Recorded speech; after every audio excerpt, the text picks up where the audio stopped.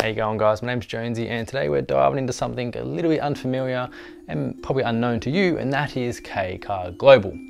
Now, what K-Car Global is, is a 24 hour kei car endurance race which is set in Sepang, Malaysia. Now you're probably wondering, what was I doing there? Well, I managed to secure a once in a lifetime opportunity behind the wheel in exchange for some content, which for someone like me who's into cars and pursuing a career in motorsport racing, I'd be crazy to turn down the offer.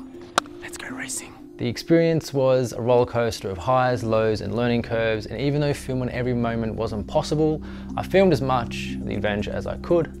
So buckle up and join me as I share how it all unfolded. On today's episode, something new, something different. I am here in Malaysia. I've been here for a couple of days now and today I'm going to the Sepang F1 circuit with the people I'm with, with my team, with some mates. And why are we here? Why am I going to the F1 circuit in Sepang? Because I am racing in K-Car Global.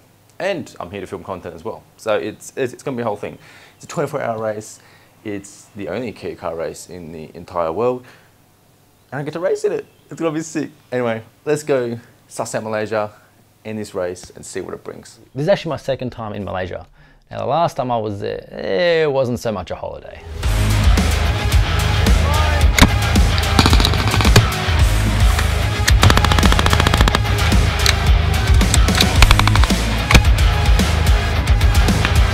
Myself and a group of people that I was in Malaysia with left the resort we were staying at and headed straight to the Sepang circuit where the team from Hara Cars who we were partnered with had already taken the cars out of the container and were working on them to get them ready for the race.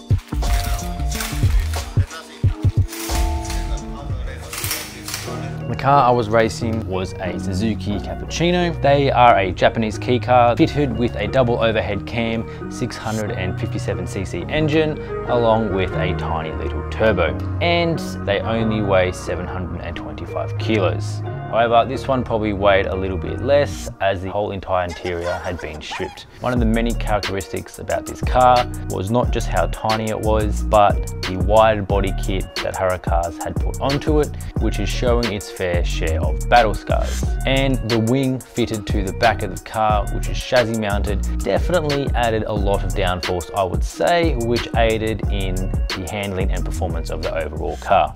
Now, the Suzuki Cappuccino also happens to be owned by the uh, founder and operator of K-Car Global and Hara Cars, Yoshiyuki Hara. Most of the day was spent getting the car ready and prepared for the event and making sure that people could actually fit in the car. Some people that I was there with were uh, a bit larger and couldn't fit in the car and generally speaking, Suzuki Cappuccinos are a small car. So if you're of a decent sized build, or even if you're tall, you're gonna struggle fitting in. And by the time you put your helmet on as well, my head was just touching the roof. And I'm tall, I guess, but I'm not fucking huge. Wow, easy.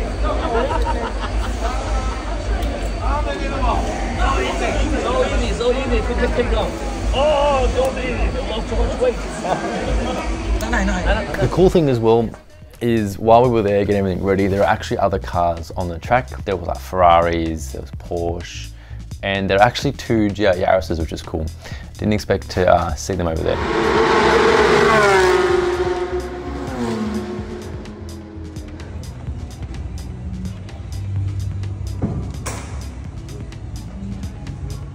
Currently walking the pit lane of the Sepang F1 circuit, taking some photos, checking out the cars. And there's actually quite a few here. It's, uh, it's a whole experience. I've never seen so many modified kei cars in my life. There's some over there, and they're just they're everywhere and you're going to see more of it. To think that at this track is where they hold actual Formula One events and I'm about to race on this same track, it's pretty surreal. In the afternoon we'll go up to the main office to do the sign-ups, you know, sign all your documents and get your little ID card if you get them just registered. Officially got my little tag, I think it's for the team I'm on. I'm gonna go down and film some content and we'll go. And Yoshiyuki Hara was there and he politely asked slash told us in Japanese, which was translated for us, uh, please do not break or crash my car, which did not happen.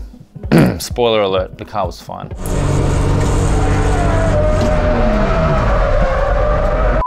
In the evening uh, when we had the compulsory drivers briefing and that was relatively long, like not too in depth. Like it wasn't very strict to the FIA standard or like some events in Australia, but it was still things like, you know, the layout of the event, a rough timeline, what you should do, what you shouldn't do, actions on this, rules you shouldn't break. Unfortunately, I broke a few of those. Uh, and the final bit was like the team leader would go up and draw a number out of a hat. And basically whatever number you drew was your grid position. I'm pretty sure ours was last. I was Oscar, you're the second driver. Yeah. Yes, and sir. who's been decided to drive in the rain? this guy? Me. This I'm guy. driving in the rain.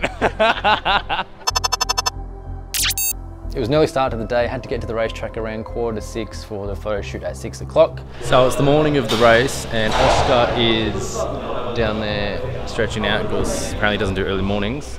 And I've got a photo shoot this morning, like I don't know, but everyone does it. And then after that, get fuel, another briefing, some sort of ceremony, and then we race.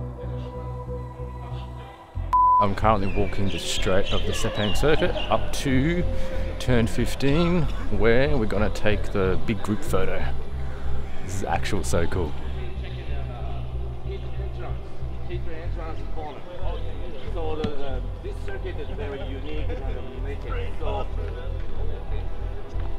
Basically, it's a big group photo shoot that they do at the top end of the racetrack of all the teams together before the race starts. Even though it was like uh, herding cats, everyone got there eventually and the photo got taken after a few attempts. They took the photo, told everyone to go, like, no, come back, come back. I Had to like line everyone up and do it all again. Now the blood pressure is definitely starting to rise as the clock is ticking closer and closer to the 12 p.m. start. Before the open ceremony and the beginning of the race, we all got a 30 minute slot to basically take the cars out, test them for drivers to get used to the track, learn the track, or the car, which for me it was uh, all of the above. Now, some teams were pretty quick to get on the track straight away, while others made a few tweaks here and there. We eventually got out and I eventually got in the driver's seat.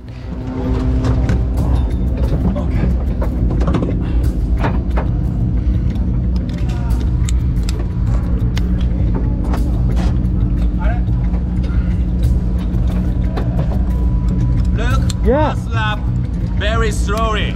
Check the everything. Check the every corner. Yeah. You know.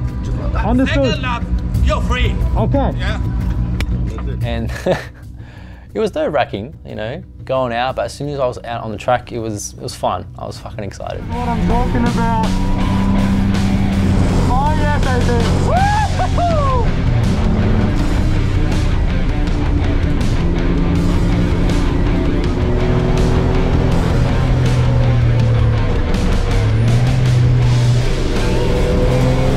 Very chaotic because there's cars everywhere. Uh, you know, trying to get their laps in. You know, test this, test that. But it was good. I got after like probably the first lap or two was a bit slow, and then finally I started to get the hang of it. Lines were sloppy, laps were sloppy, but I mean it's my test lap. Oh, I ended up getting like a three minute 30, which the guy from Hara said is pretty decent because, especially from like an endurance perspective, because the car, uh, the race is an endurance race, not a time attack race. we'll come back to that uh, statement later in the video. Bro, I just raced the Cappuccino around for a practice lap. It is the fucking best car. Shits on Skyline for handling. Like, corners you think you need to slow down, you don't. You just plant it. It's actual the best. Unfortunately, the placement of the GoPro on my helmet was uh, pretty average. So a lot of the footage is just looking at a dash cluster, but there's some stuff in there that is it's pretty cool, especially when I had some incidents. But yeah, the feed of the Cappuccino is actually tracked through GPS. Actually, all the cars were. Tracked through GPS, which comes up on a TV screen that we had in the pits. Basically shows all these little dots with like car numbers going around the circuit, and then you go to a different screen, and it tells you each car, their number, their class, how many laps they've done, their time, their best, like the breakdown, and so on. Uh, the test laps are over and now we're off to refuel. Ready for the race to start in about an hour.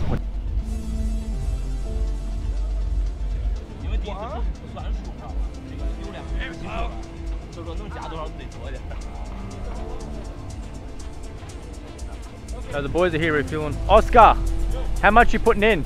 Uh, one million liters. One million litre. One million. All right. So he's talking shit, but they're refueling. We can't put all of it in because there's limits of how much fuel you can put in, like per certain time, and we have 270 liters of fuel that we have to conserve over the 24 hours. So if you like softer driving during the daytime and at night time because it's cooler, you better get to sand it a little bit more.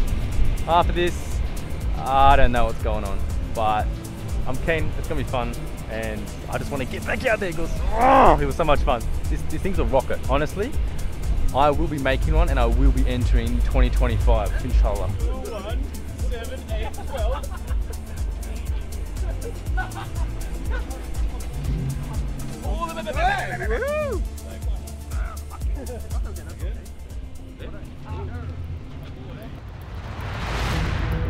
Music was blaring down the pitch straight as teams pushed their cars into position, took photos in front of them with their families, with their mascots, or just as a group as a whole.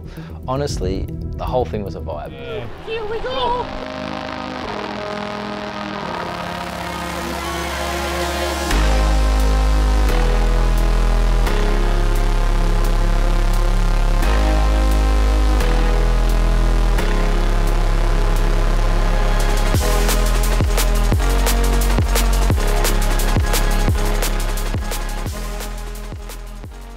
how they start the race is different. All the mascots line up on one side of the pitch straight, and then on the pit side of the pitch straight is where you have all the cars angled up in their grid order. And when uh, I think it's like a buzzer or whistle goes off, the mascots have to run as fast as they can to the car to pull the tag off.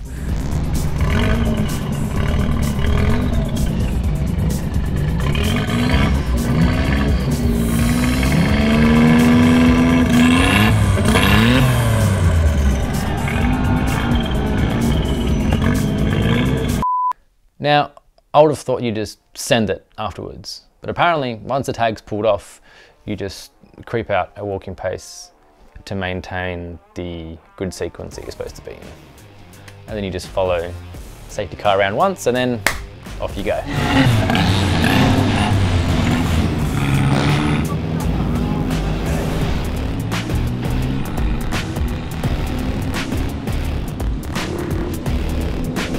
Even though I wasn't back in the driver's seat for a couple of hours, there's still stuff to do, like help with refueling or driver changes when they happen, or just watch the cars go around on the screen, watch them overtake each other here and there.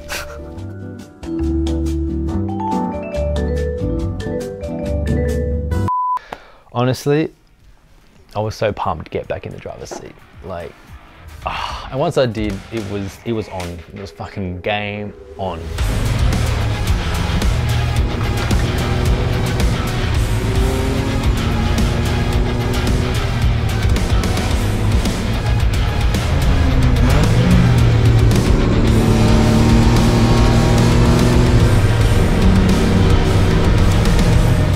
Better lap times, I was quicker on the track, but due to obviously my inexperience and I've been on in a track for a very long time, my lines were sloppy and my driving was pretty intense, but not really efficient, if you could say.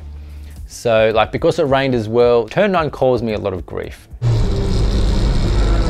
on, come on, come on. Turn 9 caused me a lot of grief. At first it was due to the wet. I actually uh, spun out once.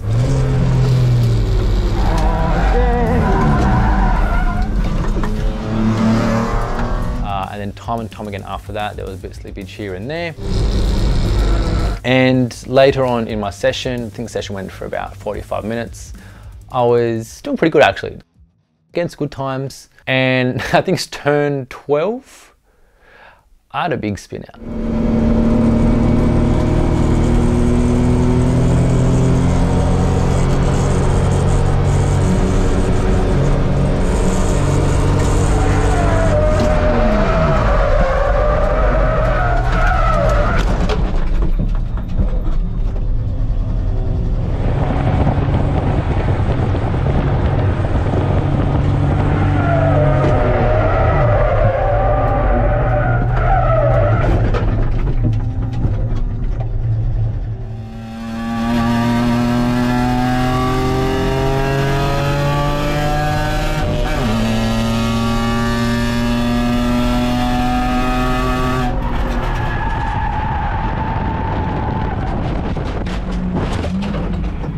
Honestly took me by surprise. Uh, and when the car took a few cranks to turn on, I got pretty worried because I'm like, fuck, please just just start. That that would be the worst thing, not just for the car to not work, but be the person that caused it.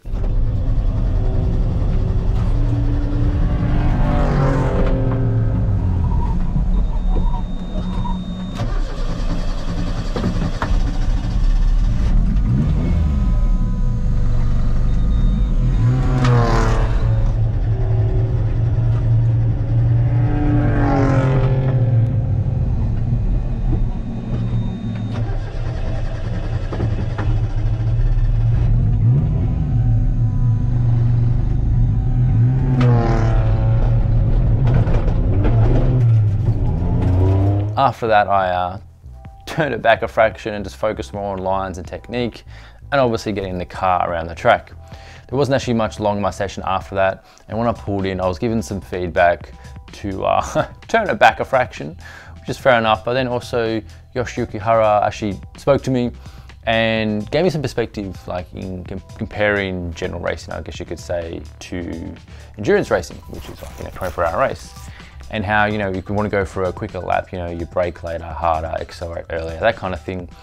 Where the way he explained it, I'm not sure how to put into words because honestly, he just, he did it pretty good.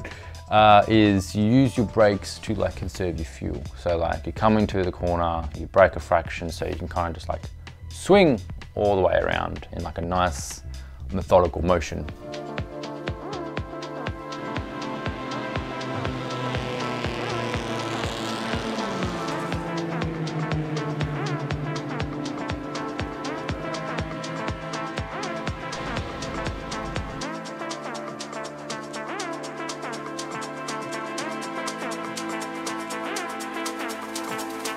Now, throughout the entire night, I tried to stay up as much as I could. I think I had about an hour's rest, which honestly I felt worse after I woke up than before.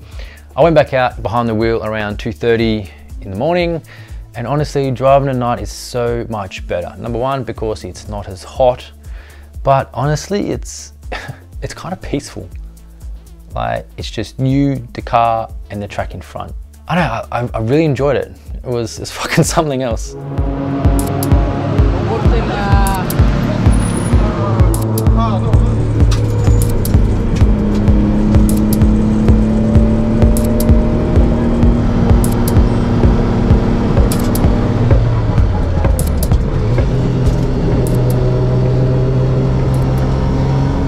Now, after some reflection from my day session and some feedback that I got, I spent the first probably third of my session just focusing on my lines, not going as quick, while still sticking to the rev limiter. And I know this is probably not going to make sense, but you know, the more you do something, the better you get at it. I find a lot of things like that we know, but we don't properly understand. Going slightly slower, but focusing on my lines, focusing on certain corners that I struggle with, trying different lines, going wider, going more narrow, and lap by lap by lap, I kept getting consistent times and then progressively quicker. So I'm okay, I'm getting confident, I'm getting better. So I started upping the pace, upping the speed, and then I started getting PBs while not like putting any, I suppose, additional strain to what I was earlier on in the day. Like I was actually being more efficient with my driving.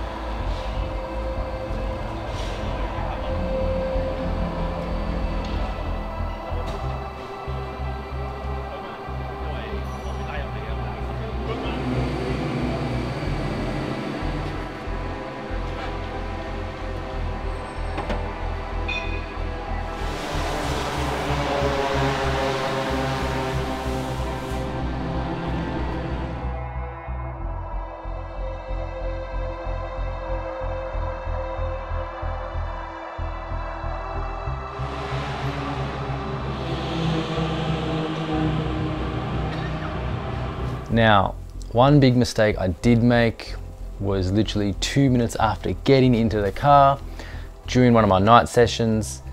And honestly, I don't know what was going through my mind or how I managed it, whether it was excitement to get back out on the track or just I somehow forgot.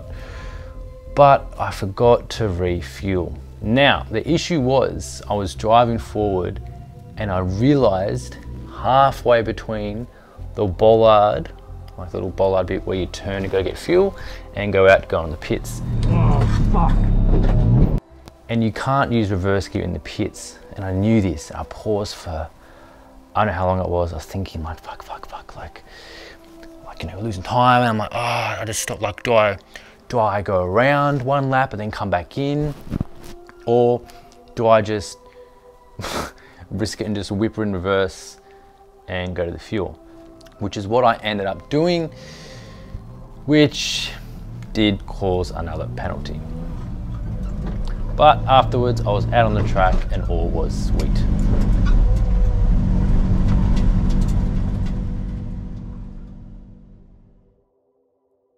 There's all the smoke behind me, so I think something in an engine's blown. Of course, all you smell is oil, like it's fucking everywhere.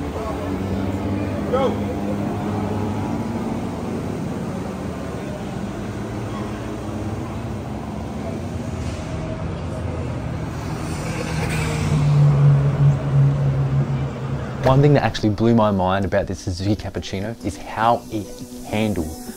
Like this thing was on tracks. Turn five and six, they're really wide, long sweeping bend to the right and then to the left. Like once you got your line right and you can pretty much flat foot it because you know the car's not making heaps of power, but you get some speed and because it's sticking and you've got a good line, you can literally feel like the blood in your head, like moving from side to side as you go from one across the other. Honestly, it's, it's fucking cool, man.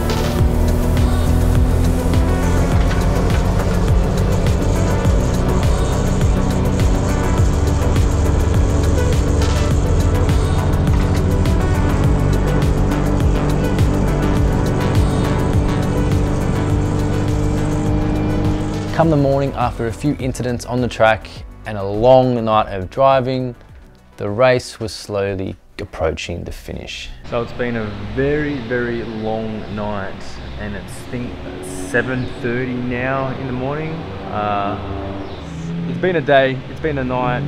There's about four hours of the race left. There's currently a safety car.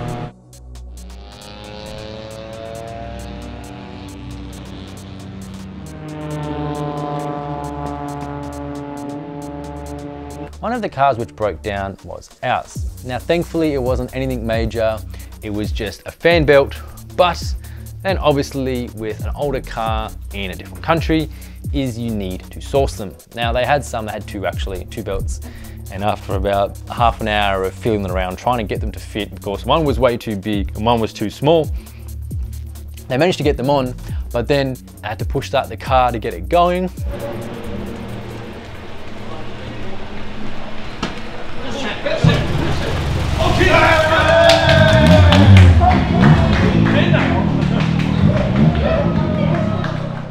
But then, once he was started, the man, the myth, the legend, Yoshiyuki Hara was all suited up and ready to bring it home for Hara cars.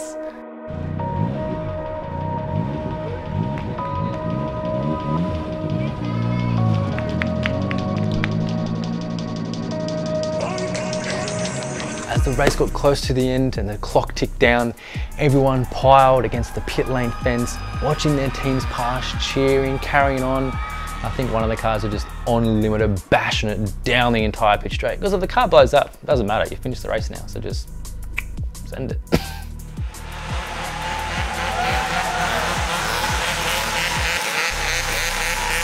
Long after the final car crossed the finish line, people filled the pit lane, all the cars lined up, people were celebrating, cheering, it was, it was pretty damn cool.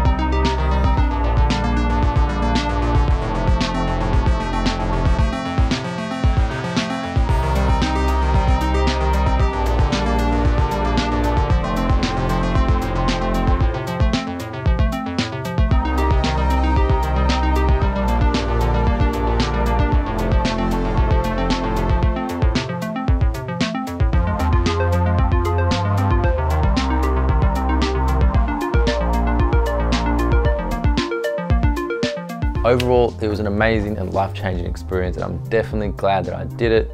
Despite the ups and downs on the overall trip, it definitely helped give me some clarity and I got a lot of experience to help in the pursuit of my career in motorsport racing. Honestly, you have to do it. It's it's fun and it's it's different. Like yes, Skylines and big cars, they're quick cars, they're they're cool, they're fast, they're fun, but they're a different kind of fun, right? But kei cars, they're something completely different. Like it's it's honestly, it's a whole new world. And you might need like a dollar or two. I'm pretty sure entry fees like two and a half grand per driver. And ship your car over there, it's probably around $8,000. But trust me, it's worth it. Just get that loan now. Don't get the loan, but do it. It's I highly recommend it.